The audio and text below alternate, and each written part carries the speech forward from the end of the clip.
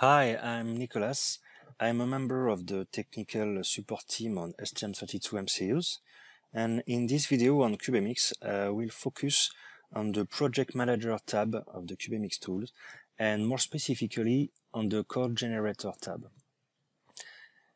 Uh, we will have uh, uh, some insight on the template setting feature by uh, doing a lab, and in this lab, we'll redirect the printf call to a virtual COM port in the PC and display some CubeMX configuration uh, using this template uh, FreeMarker uh, language.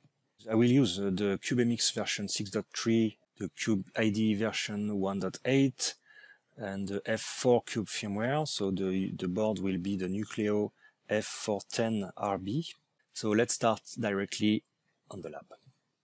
Once CubeMX is uh, opened, uh, you go to the board selector and we will select the F410 Nucleo board. So I just press F410. Here there is only one.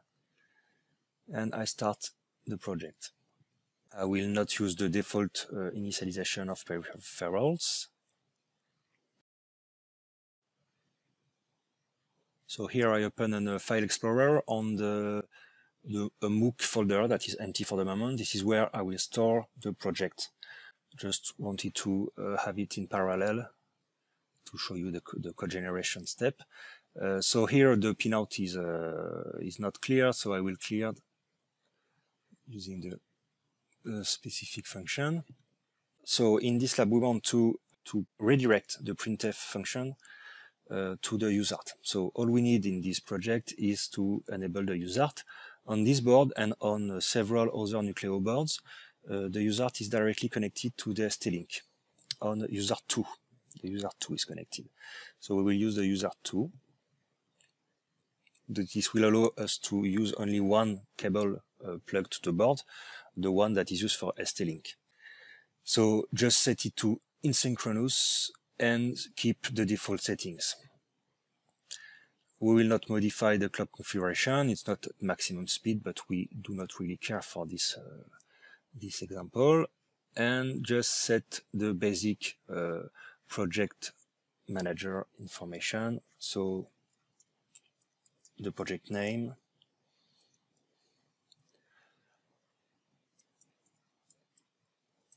and in the MOOC uh, folder, this uh, this project type is described in another specific video, dedicated one. So I will not uh, go uh, deep, deeper in this one, but uh, here we will select just the CubeID project and keep the generate under root. Uh, this will allow to add automatically uh, to the project the file that will be generated in the template settings. If you do not check that, you will have to add manually the files uh, that are generated uh, by uh, this um, by these options. So let's keep generate on the root. That means that it will not create a specific STM32 CubeID folder containing the CubeID project. It will create the CubeID project uh, on the root. And let's already generate the code. So in the meantime, you can see in the user manual, so in the 1724 for the Nucleo board, uh, the user communication, the USART 2 is um, by default co connected to the ST-Link. So that's why we use this USART 2 uh, device. So we will not open the, the CubeID project yet, uh, but you can see that my project has, has been generated.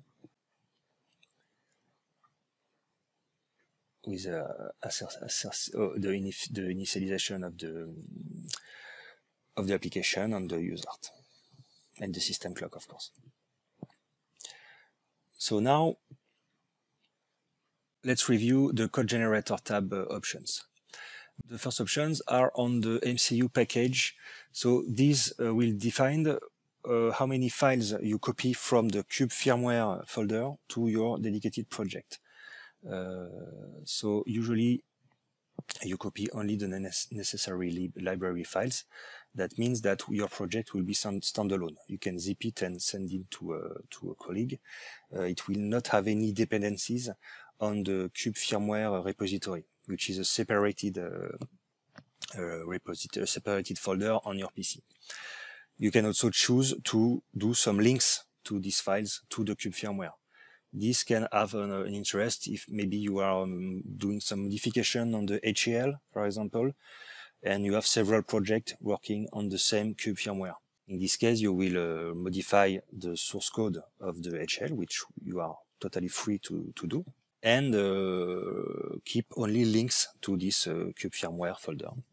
In our case, we will copy the necessary files to the, to the project. Then these are options on the generated files. So the first one is to uh, select if you want uh, to separate the configuration of each IPs in separated uh, .c and .h files. We will do that. So that will it will create. Uh, you can see, you will see here. For the moment, uh, the configuration is done in the main.c and the HAL MSP.c. Using this uh, this option, it will separate. Uh, we will have a usart.c and usart.h and etc. for any peripheral we add. Uh, we can set an option to backup the previously generated files when they were generated. In fact, these options are quite uh, self-explaining, but I can review them anyway. Uh, keep the user code when regenerating. So for that, I will open the um, the Cube the CubeIDE project in a, in a second to show what is user code and delete uh, the previously generated files when uh, when not regenerated. Uh, that means that yes, we, you will not keep all files if they are not relevant anymore. Uh, the, these uh, HAL settings are also quite self-explaining.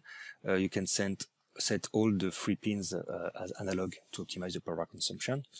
And the enable full assert uh, these options will, uh, if not enabled, in fact, the assert uh, calls will, will be replaced by nothing.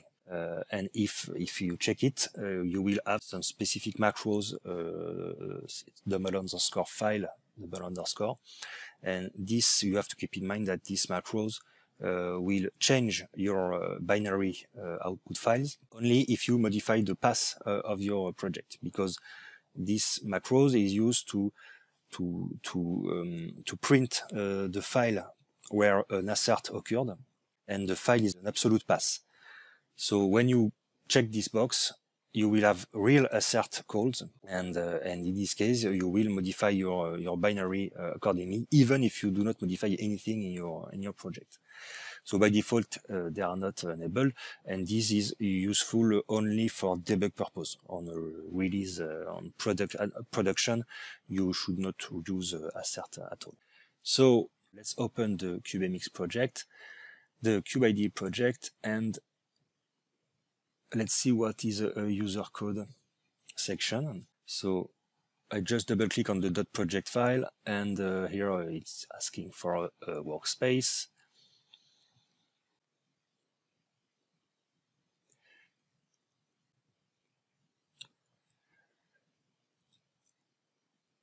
So let's go in the main.c file. This is where you have uh, most of the user code section, but you have uh, several uh, on many, many files. And this is what, what is called a user code section.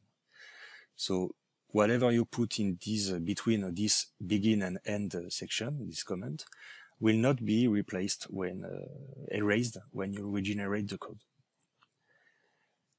Only if this option is checked. Now the template settings. So let's go back to the slide set. The template settings allows to process some FTL, FTL files. With these FTL files, the STM is, can generate a custom code based on the FreeMarker template file. So it's a FTL extension for any uh, of the following MCU configurations. So you can view the MCU peripherals that are used in the current configuration of CubeMX. You can list the parameters of those peripherals, and you can also list the resources used by these peripherals in terms of GPIO or DMA requests and interrupts. The Apache FreeMarker is a template engine. So usually it is used to uh, generate text output, so HTML web pages, emails, configuration files, but also source code and it's uh, it's based on the on template and changing data uh, of uh, internal values of STM32 CubeMX. So with this uh, this language, you are able to access uh, the CubeMX configuration and set it in a C, uh, C source code. So there is a specific uh, syntax to be to be used. So at the beginning, you have to, you, you must have this hashtag FTL call, and then here you will retrieve the current config. So it's the it will it, is called DT. So this is from the Java world, and uh, you then in this DT it's a, it's like a, a, tree, a description tree, and in this DT in this DT uh, object you will have the peripheral parameters, the uh, GPIO parameters, and also the used IP. So you will then browse from this uh, this uh, DT uh, entry point the list of all the used IP and their specific configuration. My, my goal here is to create uh, two files, one a C file and a H file. The C file will contain uh, the redefinition of the printf call to redirect to USART, and also a print function, a display information, um, board information display function using printf and the H file will, will contain the definition of the of this function to be used externally. So what I want is not to create these two files at the root uh, of my uh, project, but in the core uh, inc for the inc file and the core uh, src, src for the source file. So for that, I will just first create a template folder that will contain all the FTL files that I want to process at code generation. And in this template, I will create the hierarchy, the folder hierarchy that I want, uh, where I want to uh, output my files. So I want them to be created in the core folder. And in this core folder, I will have include folder and source folder. And finally, I will create the FTL uh, files.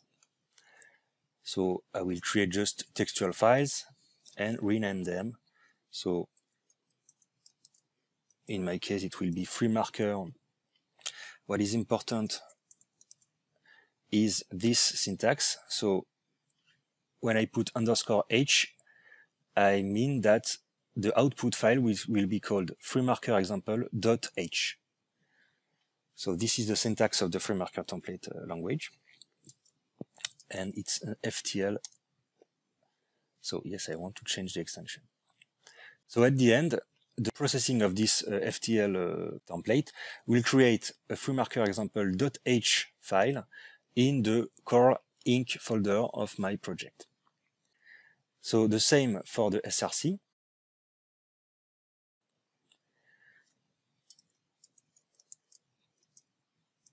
So the same uh, FreeMarker example This time it's underscore C because I want a dot .c file to be created and FTL to say that it's a FreeMarker language template. And let's now put some content inside. So for the include file, I can open with Notepad. Uh, in the slide set uh, that will be provided with the video, you have the content. So um, uh, there are two versions of this. Uh, I, I, put another version to show some uh, some string uh, uh, manipulation uh, function in a FreeMarker language, but we will use just the basic version here. But it is a way to also to see how to manipulate string. It's it's quite easy. There is a user manual here in the free FreeMarker manual. You can see all the list of the functions that can be used. So in our case, we'll use the basic function for the FreeMarker.h. It will consist only uh, no call to a FreeMarker uh, function, just copy this code, uh, keep this code.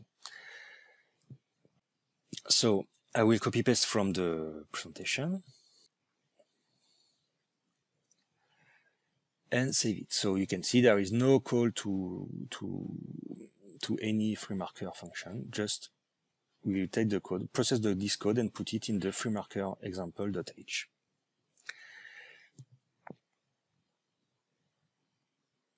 in the freemarker.c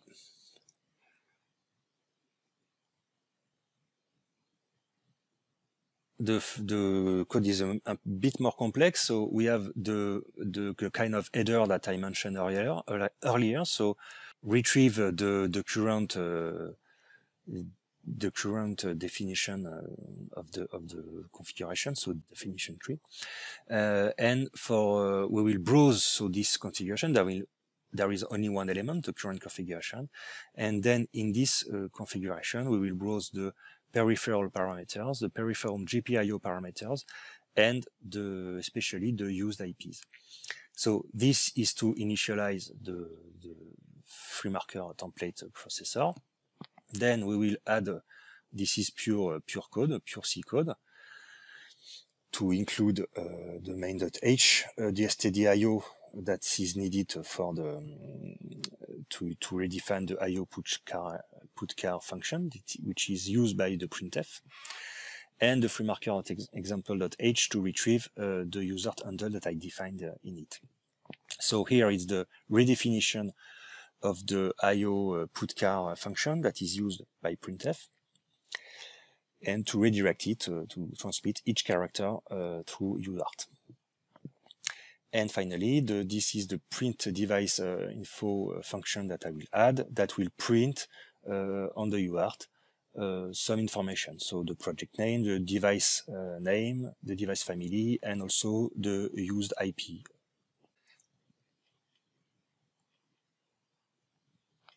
So just copy paste this code and save. And now, so I have created my two FTL files. I have to um, to set them in the CubeMX. So I go to the settings uh, to the settings uh, options. I will not use the default location. I will I will put the template uh, folder that I just uh, created. So it will be in my C MOOC folder project folder and here templates. So once set, the tool will browse for all the FTL that are available and it can find it can it can find two, the one uh, in core include and core SRC. So you can see that it detects detects the uh, folder hierarchy. So I will add all of them and keep the default the destination folder because it's the base folder and I want it I want to put these two files, one generated, in the core folder, but then in core inc and core src. Now, let's see in the meantime what is uh, what is done on, on the code generation. You can see here that I have no uh, FreeMarker example file for the moment. If I press the generate code, So first you can see that um, a usart.c has been created because we, uh, we, we, checked this uh, option. So it extracted uh, the user configuration from the main, from the MSP file to put it in a separate folder. And uh, the FreeMarker example.c has been created also. And if we go to the include file, we can see that the FreeMarker example.h has also been created. So if we go back to the Cube IDE project, we can see that if we refresh the project, the FreeMarker.c is present and as well as the FreeMarker.h. So now uh, let's see what has been done in this uh, in this file. Remember that we we, we had this uh, definition and now it became it has been replaced by the actual value. So it's not no more the project name but uh, nucleo uh, f410 rb uh, ftl folder. The family is ftf4 f4 and this is the list. So this list has been browsed for the activated IPs. So there is the system clock, of course, the USART2, uh, the interrupt uh, vector, and the GPIO that corresponds to, to the USART2. And I also printed the, the actual address where the that stores the, the user handle. So just a, a, way to show that uh, the printf is just not only text, but you can use the, the real uh, the, the real format of printf, the formatting function of printf. Now let's call this function from the main function and we will uh, show it on the on the USART. To do that, we will have to include uh, the the FreeMarker example.h to get uh, this, uh, this function definition. So let's just include this into the main.c.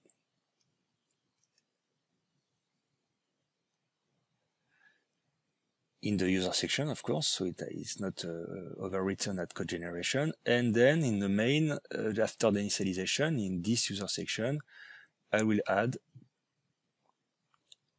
a call to this print uh, device info function.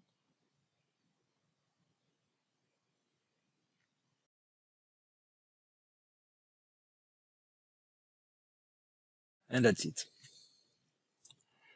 Now I can build the project. My board is already plugged, so I will uh, launch a debug session. I can close now this file. So this is the default uh, debug configuration that is created automatically. So I will, set uh, keep the default settings.